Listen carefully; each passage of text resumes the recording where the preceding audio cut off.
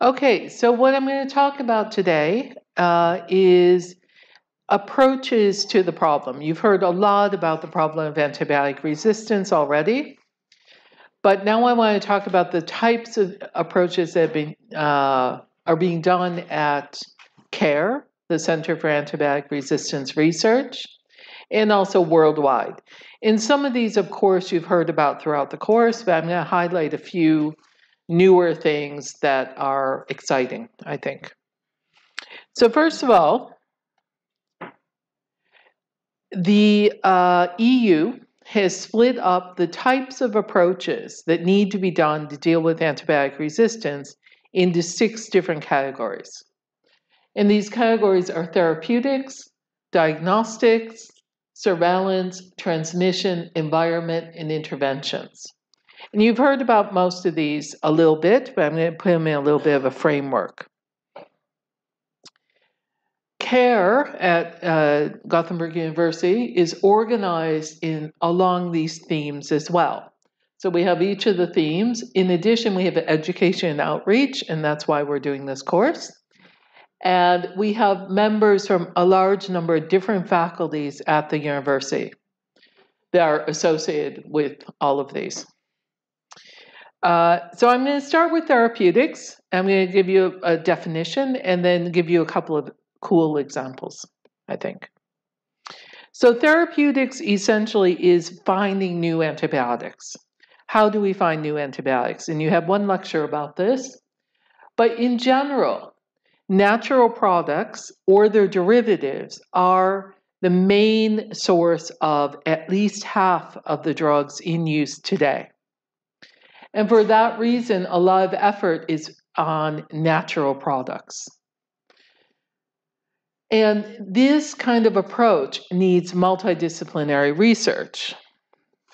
You need biologists who will find new sources of antibiotics, who will initially find initial uh, hints that this might work as an antibiotic, which are then given to chemists who can modify these compounds and make them better so they work better. They then go back to the biologists who continue to test them and see what uh, works the best, and back and forth like this until you have a very good candidate where it's then passed on to medical professionals for, for example, animal testing and further human testing. So many antibiotics are produced, though, by microorganisms. But only about 1% of microorganisms can be grown in the lab. So if you go out to the ocean and you pick up 100 bacteria, only one will grow in the lab. And in large part, that's because we don't know how to grow them. So it was mentioned briefly uh, during Morten's talk that there is a recent invention to try to deal with this problem. And this is something called the iChip. The iChip looks like this. If you look here, it's very small. It's about uh, six, eight centimeters long. And it has a lot of little holes. What you do is you take a sample of bacteria from anywhere, the ocean, the soil, whatever it might be, and you dilute it so that when you put this device in that solution, only one bacteria on average goes into each of those little holes. Okay? So you have like mini, mini, mini test tubes for each bacteria.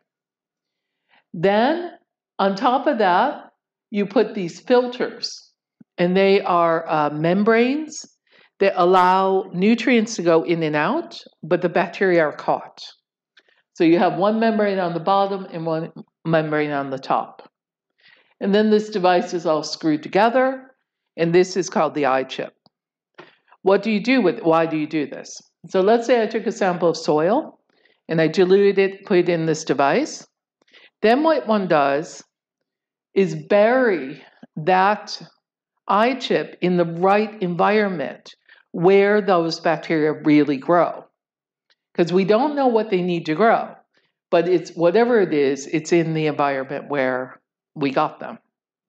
So you bury it in there. And in the experiments that uh, they've used this for, they leave it for, let's say, a month, a couple of weeks, they let it grow.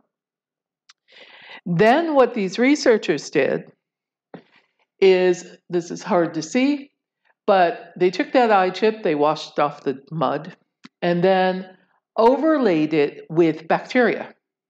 They took bacteria in a gel and put it on top of the iChip without opening it up, incubated it with uh, these bacteria. In this case, it was Staphylococcus aureus.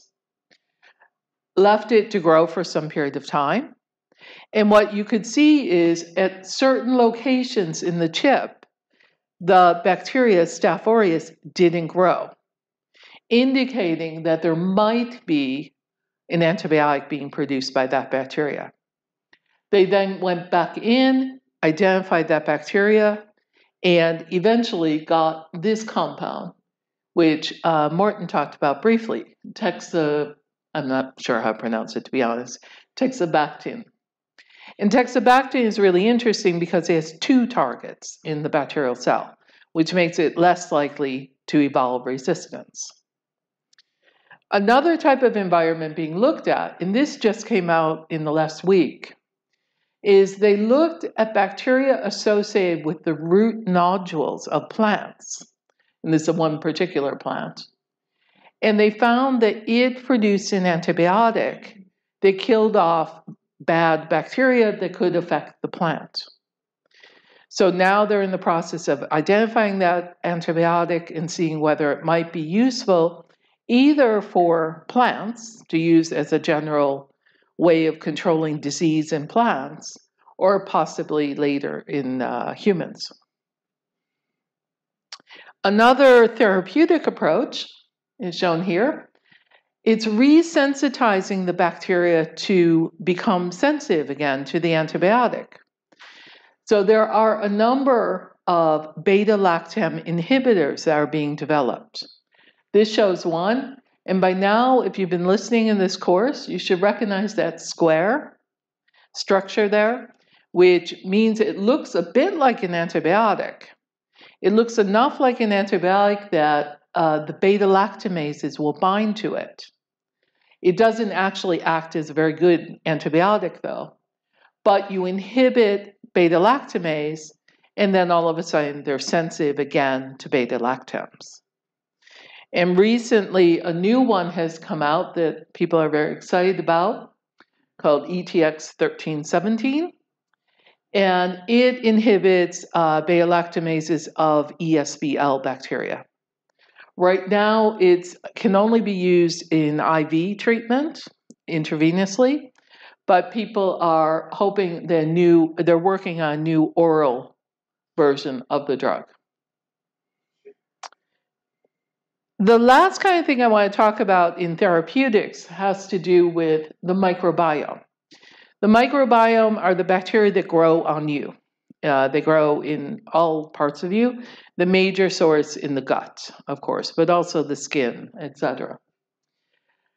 In recent years, there is paper after paper after paper associating the microbiome, the composition, the bacteria that are in the microbiome, with a large number of diseases. I just want to uh, highlight, though, that a lot of this is very new. It's not that clear how clear the connection is between any particular disease and the microbiome. But there are more and more and more indications. But one place where the microbiome actually has become a therapy is in Clostridium difficile infection. So if you take antibiotics, uh, if you take a broad spectrum antibiotic, you often lose all the bacteria in your gut or many of the bacteria in your gut. When that happens, certain bacteria, for example, C. difficile, can take over. And if you get sick with C. difficile, it's very hard to treat. It's very resistant to antibiotics. It causes long term diarrhea and painful um, stomach, etc., or gut, etc. One of the current treatments for this is actually a fecal microbiota transfer. So you take the microbiota from another healthy person and repopulate the gut. The next one I want to talk about is diagnostics. As we heard about with Gunnar last week, it's often very hard to know when a doctor sees a patient do you have a bacterial infection and is it resistant? And so they're using uh, antibiotics best, uh, uh, based on their best guess as to what they should do. And as you know by now, this can take time. It can take days to find out whether or not you have a bacterial infection and a resistant bacterial infection in particular. And so, what a number of groups are doing are looking for in vitro methods that means not growing the bacteria necessarily, but looking for things that it, you can measure quickly. Ideally, in about half an hour at the doctor's office. That's the uh, dream. So, we want a diagnostic test. The other reason we want a diagnostic test is that, so for example, if there's an old antibiotic that isn't used much because there's a lot of resistance, that doesn't mean your infection isn't sensitive to that antibiotic. Let's say 90% are resistant, but 10% aren't. And so, for that 10%, it would be nice if we could use that old antibiotic in those patients. And so, another advantage of having a fast diagnostic test is that uh, you could use an older antibiotic instead of fancier new antibiotics. For example, urinary tract infections. This is such a common uh, infection that this is the focus of a lot of research right now. And I'm going to give you two examples of this, three examples of this. First of all, um, here locally at Gothenburg, uh, there are people looking to be able to use sequencing, DNA sequencing, to very quickly identify what bacteria and what resistances. Right now, they can't do it in 30 minutes, but that is one of their aims. Others are looking at the proteome, and that means looking at the proteins expressed. So, if you could measure the proteins, there are certain proteins only in some bacteria, and not in others. And there are some proteins associated with resistance that you could measure. And a company here has been formed around this idea called 1928 Diagnostics. Another approach taken by a group in Uppsala, they formed a company called Astrego Technology. They they proposed, okay, yeah, we can't wait two days or a day, however long, to grow the bacteria. But we don't really need to wait two days because we can use microscopy to look at the bacteria growing and can see them grow very quickly, especially in the case of urinary tract infections that are usually caused by E. coli. E. coli can divide every 20 minutes. So if you could watch them, you could actually do things much faster.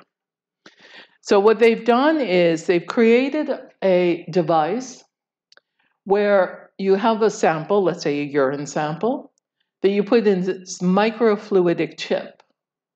And bacteria in the sample are caught in these traps. So you flood this, you get on average one bacteria per lane on here, and you're going to have liquid flowing across this. So what happens? Well, what happens, if my video will play, is shown here. Okay, so what's happening here, the bacteria are trapped on the bottom, but you can see they're getting longer in dividing and they fall off out into the media. The media is flowing down, so they keep trapped in there. And so you can watch them actually grow and divide in real time very quickly. This is actually a YouTube video that I think is on a 45 minute loop with music behind it if you want to watch it, but, but it shows very clearly what's happening in here. So, what they've done is they created these microfluidic channels. You have one that is your control, your reference, and the other is the treatment.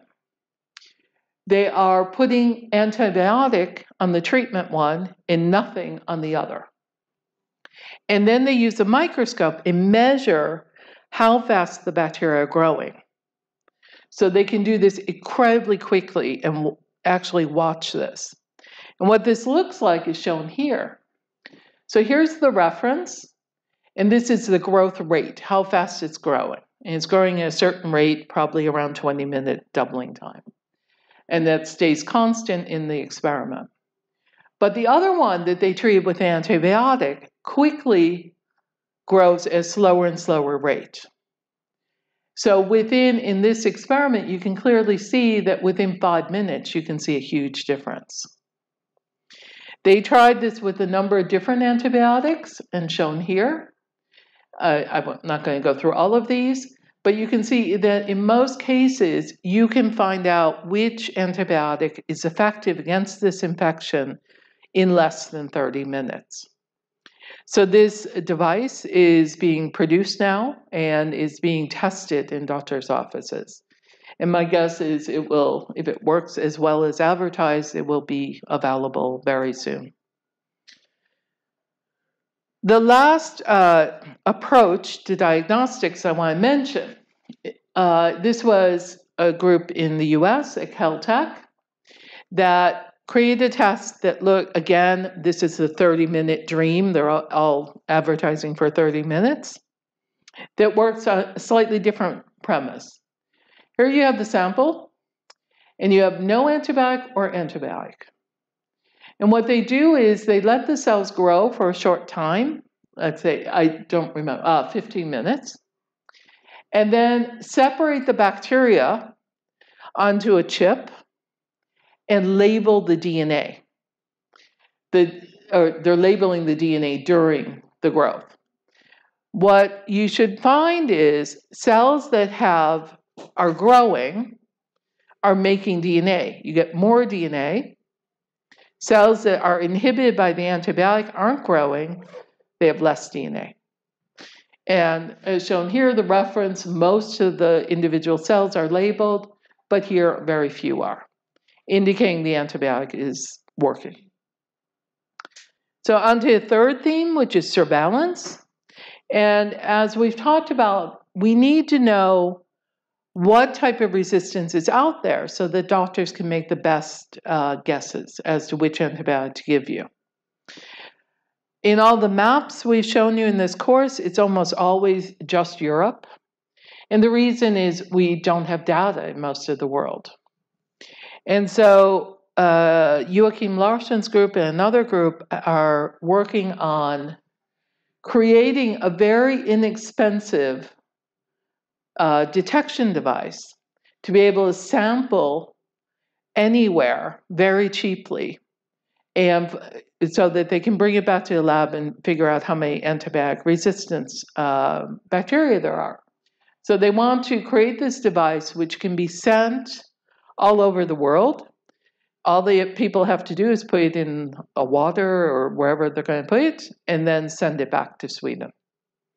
Uh, so they're working on this, and or to another lab somewhere else, uh, to be able to quickly get better surveillance data. Then we have the environment, and Joakim already talked about this a lot. Um, which is that we need to know how frequently antibiotic resistance is occurring in the environment and how to prevent it. This slide, which I don't remember if he shows, just summarizes that you have sources of antibiotics coming from hospitals and people, as well as agriculture and pharmaceutical plants, all leading to resistance to some degree. But we don't well know how much. Uh, the next theme is transmission. Transmission has to do with uh, transmission in this sense refers to conjugation. So we talked about how uh, DNA can be transferred directly to other bacteria. And this is my personal project, so and Martin's. Uh, we have a project looking for inhibitors of conjugation. So we want to be able to develop a drug that will stop conjugation. that could slow down the, the spread of resistance. It's not going to solve it, it's going to slow it down.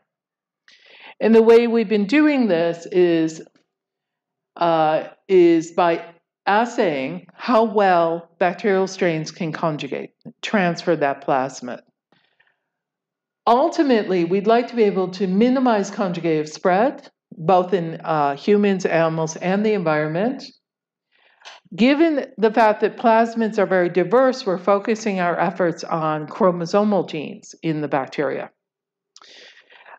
So, but there was no good way to do this. All right, we need to look at lots of genes and lots of organisms. And so we developed a system to be able to quickly look at conjugation. And we used it to look at 4,000 mutants of E. coli with four different conjugated plasmids. And how do we do this magic? That's a lot of uh, assays. Basically, we're using agar plates where we can pin 1,536 different conjugation pairs. So we can quickly get a large number of growth curves, or mating in this case, uh, results in a very short amount of time. So essentially, we screened all of these in a matter of weeks, basically.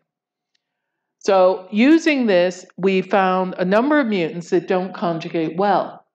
So here's our control that conjugates well in blue. And then in green, for example, is something that conjugates very poorly. And so we're in the middle of figuring out what are all these uh, mutants that we found. We think it's likely we find mutants that affect the expression of the genes on the conjugated plasmid, or those that have a problem making this pilus, or those that affect replication or transfer of the actual DNA. But we're still in the middle of doing this. All right, and then the next uh, theme which you've heard a lot about in the last uh, couple of lectures, are interventions. So, how do we influence people to do the right thing? And you heard a lot of discussion about this. And the people we want to influence are doctors and veterinarians. We want to influence the livestock industry. We want to affect environmental pollution. Governments, of course, are involved in all of this, and people like you. And as you've heard, the social scientist role then is how do we encourage good antibiotic stewardship? How do we decrease environmental pollution? And there's no clear answer to that, but there are hints that you've heard about. Okay, so lastly, if you are interested and want to learn more, I have a couple of websites that are recommended. CARE, of course, has new research. ebug.eu is appropriate for younger people, so high school level um, students. React Group is a advocacy group that is fighting to improve um, knowledge about this problem as well as influence governments, etc. Antibioticresistance.se that site will have this entire course on it, including the quizzes and everything.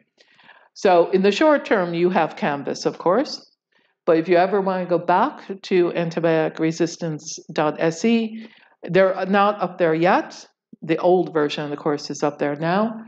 But in the future, you can tell your friends to watch all the videos. They'll all be organized there. And then CARE has a Facebook and Twitter account if you want to follow the research going on at CARE. And then Microbiology News is my own Twitter and Facebook accounts where I post about different types of research in microbiology, but a large amount about antibiotic resistance because it's important. And that's it. Um, thank you very much.